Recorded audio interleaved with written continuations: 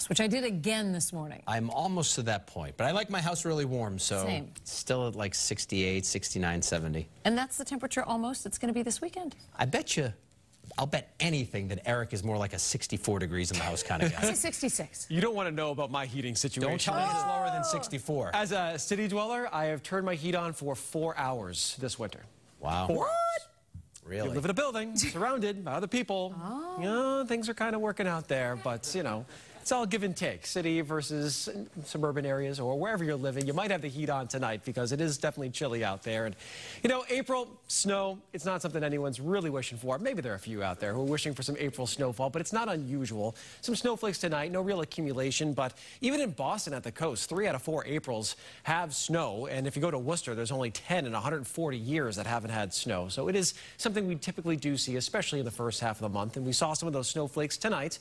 Now we're looking at rain, but also a few pockets of some freezing rain, mainly in the higher elevations. So across Worcester County and into the Monadnock region, we've been talking about for the last couple of days here. Temperatures just cold enough to create some of that freezing rain. We're at 30 in Worcester, 31 in Auburn and Sutton, 32 in Boylston, and Leominster is at 31 degrees. You can see that little spine of temperatures right around freezing. Don't think there'll be an impact on the roads tonight, but around, say, the deck railings and maybe on the trees, a little glaze of ice, and then it will melt late tonight and into early tomorrow morning. So pretty low impact stuff. The last of the rain moving out of Boston around 7 o'clock in the morning, leaving Cape Cod around 9 to 10 o'clock in the morning. And then we are going to jump into the sunshine. And what a weekend we are looking at over the next couple of days. I would say the best weekend of the year so far. And uh, really, last weekend was pretty good until Sunday afternoon. But this one, up to 60 by midday, well into the 60s tomorrow afternoon with sunshine increasing. And Sunday will be another day that's up around 65 to 70 degree range also. A sea breeze potentially on Sunday, but these are days to get outdoors, no question. So tomorrow with a westerly breeze, we should bring that mild air right to the coastline. The cool spots will be across Martha's Vineyard and Nantucket, but still a nice day once the clouds move out. Then as we make our way towards Sunday, we'll see those temperatures jump up well into the 60s. Again, a chance at 70 in a couple of spots. I do think with a generally weak wind on Sunday, we'll see a sea breeze kicking in all along the coastline. Basically everywhere near the shore, the wind starts to come on shore on Sunday and bring us a cooler afternoon. With everyone probably spending a lot of time outside this weekend, just a friendly reminder, sun angle is the same as Labor Day weekend, where we're usually hanging out at the beach and soaking in the sun. So sunblock would be a way to go. This is that type of weekend where everyone goes to work on Monday and everyone's got a little bit of a sunburn. So keep that in mind.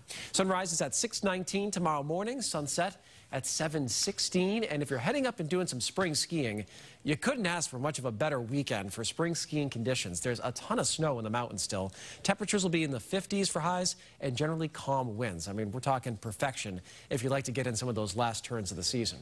As we look toward the start of the week, we've got rain on Monday morning up till about the early afternoon. Looks like we'll dry out heading later into the afternoon and toward the evening. Tuesday is probably the trickiest day of the forecast as we're going to have a front nearby and also some rain showers off to our south.